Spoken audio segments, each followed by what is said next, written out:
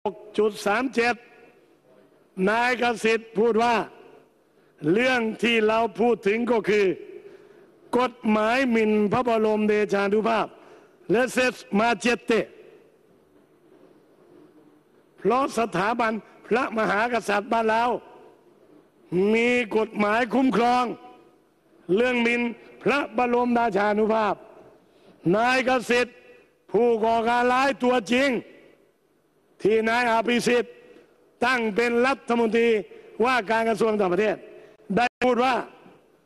กฎหมายหมิ่นพระบรมเดชานุภาพ ซึ่งทุกคนรู้ว่าเป็นอุปสรรคสำคัญที่อยู่คู่กับสถาบันกษัตริย์ตลอดมา นี่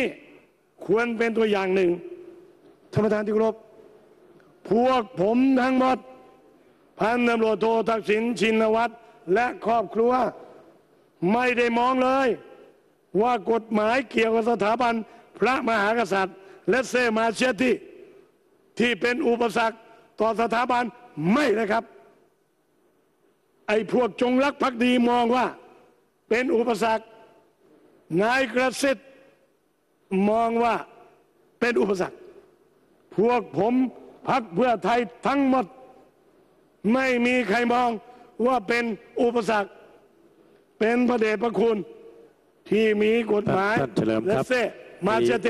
มีผู้ประท้วงนะครับ เดี๋ยวครับ ท่านปองศรีประท้วงอะไรครับกับเรียนท่านประธานที่เคารพค่ะดิฉันผ่องศรีธาราภูมิพรรคประชาธิปัตย์จังหวัดลบบุรีนะคะดิฉันขออนุญาตประท้วงท่านประธาน ตามข้อบังคับที่ 8 นะคะ เรื่องการควบคุมการอภิปราย แล้วก็ขออนุญาตนิดเดียวด้วยค่ะด้วยความเป็นห่วงฝ่ายค้านเนี่ยนะคะ เนื่องจากว่าเวลาถ้าท่านไม่บริหารเนี่ยก็จะทำให้ท่านเสียโอกาสเองนะคะ ขณะนี้ขออนุญาตแจ้งเลยนะคะว่าเหลือเวลาของฝ่ายค้านอีกประมาณแค่ 3 ชั่วโมง 30 นาทีนะคะ ถ้าท่านไม่บริหารให้ดี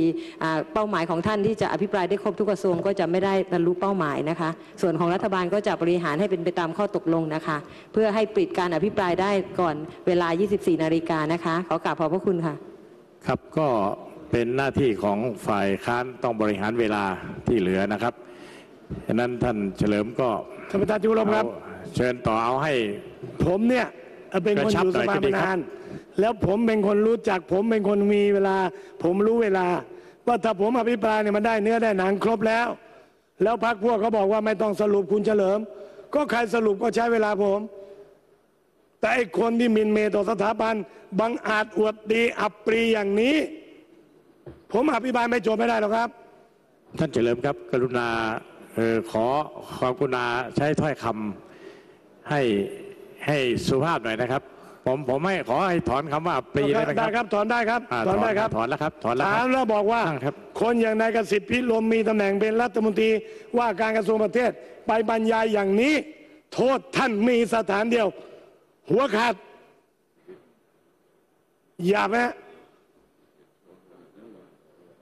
ท่านประธานที่เคารพ ในนาทีที่ 56.37 นายกสิทธิ์ได้บรรยายว่า กฎหมายหมิ่นพระบรมเดชานุภาพทุกคนรู้ว่าเป็นอุปสรรคสำคัญที่อยู่คู่กับสถาบันพระมหากษัตริย์ พวกผมไม่เคยมองเป็นอุปสรรค พวกผมมองเป็นเรื่องที่ดี เป็นกฎหมายคุ้มครองเจ้าฟ้าเจ้าแผ่นดิน จึงได้บัญญัติไว้ ประมวลกฎหมายลักษณะอาญา มีสังคายนากฎหมายเมื่อปี 2500 แล้วก็มาแก้ไขเป็นประมวลกฎหมายอาญา ในบทบัญญัติกฎหมายอาญา ในบทบัญญัติรัฐธรรมนูญ มีหมด พวกผมชื่นชอบ ผมกำลังจะแก้กฎหมายมาตราหนึ่ง ถ้าผมมีอำนาจหนึ่งห้ามบุคคลหนึ่งบุคคลใด กล่าวอ้าง ว่าจงรักภักดีมากกว่าบุคคลอื่น และห้ามบุคคลหนึ่งบุคคลใด กล่าวหาบุคคลหนึ่งบุคคลใด ว่าไม่จงรักภักดี ต้องระวานโทษจำคุกสิบปี แล้วกฎหมายเลเซมาจเต้ผมจะคงเอาไว้ ถ้าผมมีวาสนาท่านประธานครับ ในนาทีที่ 56.37 นายอภิสิทธิ์ บอกว่ากฎหมายเลสเซมาเจเต้ขอประทานโทษ นายกสิทธิ์บอกว่ากฎหมายเลสเซมาเจเต้เป็นอุปสรรคพูดเป็นภาษาอังกฤษว่า what do we talk about in let's say machete law you know that was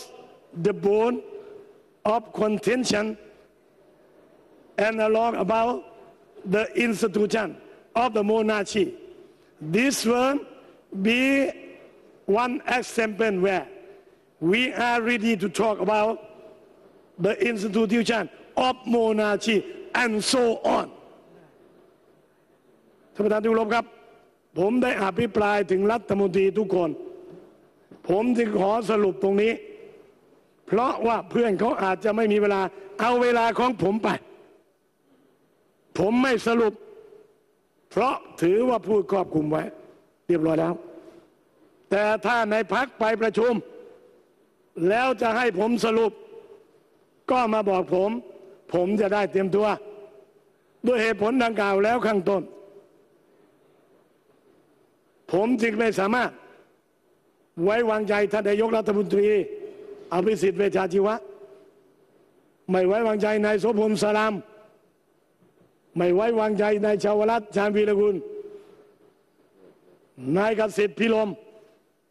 ดารารับเชิญ ที่แตะเยอะๆหน่อย ก็มีโสพลสลามชาวรัตชาญวีรกุลรัสิทธิ์พิลม ก่อนนิดเดียว สุเทพ ในจริงอะผมไม่ได้ใส่ชื่อเขานะ แต่พักพวกเขามีข้อมูล ก็ไปบอกท้าทายผมเฉลิมน็อกไม่ได้ นี่มันยังไม่จำมาสุเทพน็อกคาสภาไอ้เรื่องสปกสี่ขีดศูนย์หนึ่งผมไม่ได้พกความแค้น ผมพกความคิด แต่ถ้ามีเวลาให้ผมสรุป นายกก็พบกับผม เรื่องสลายม็อบ เรื่องพฤติกรรมไม่มีมาตรฐาน ถ้าพักพวกอยากสรุปกันเองไม่ว่า เพราะนั้นฝ่ายรัฐบาลการุณาไม่ต้องมาสอนผม ว่าเดี๋ยวเวลาหมดก็มันรู้อยู่แล้ว พอนายกตอบก็พวกเราสรุป ส่วนใครจะสรุปเรื่องฝ่ายค้านผมถือว่าผมได้ใช้เวลาของพรรคพวกมามากแล้ว ผมย้ำกับท่านประธานก่อนนั่งอีกครั้งหนึ่ง เรื่องทั้งหลายทั้งปวงมันเกิดขึ้น มันเกิดจากนายอภิสิทธิ์ เวชชาชีวะนายกรัฐมนตรี เขาเรียกร้องให้ยุบสภา ท่านให้กระสุนเขาท่านต้องเลิกพูด ไอ้ชุดดำไอ้มือที่สาม ใครตายก็ตามเราเป็นนายกต้องรับผิดชอบ นายแน่มากอภิสิทธิ์ ตายเหยียบร้อย เจ็บสองพันวาไม่รู้สึกรู้สา ลอยหน้าลอยตาตอบท่านประธานที่เคารพครับ การเมืองวันนี้กฎเก้าข้อนายก ว่าไงฮะเอาเงินจากตลาดหลักทรัพย์ มาผลานงานว่าไงฮะยี่สิบเก้าล้านกกตยังสุขสำราญดีเหรอผมไว้วางใจไม่ได้เลยครับ เดี๋ยวให้ผมไปเคลียร์ในพักกันก่อน ถ้าเขาไม่ให้ผมสรุปก็ไม่มีปัญหา ถ้าได้ผมสรุป ผมว่ายังมีคิวตอนท้าย ผมจึงไม่สามารถไว้วางใจนายอภิสิทธิ์เวชาชีวะ นายกรัฐมนตรีและรัฐมนตรีตามยัตติได้ ผมเคยเรียกจอมพลอภิสิทธิ์เพราะนึกว่าเป็นประเด็จการคน